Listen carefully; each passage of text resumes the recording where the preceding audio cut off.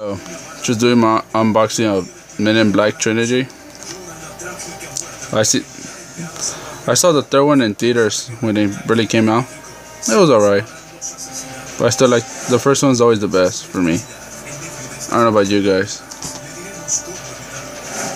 So yeah, the Blu-ray trilogy. Yeah. I like these movies. They're fun. Yeah.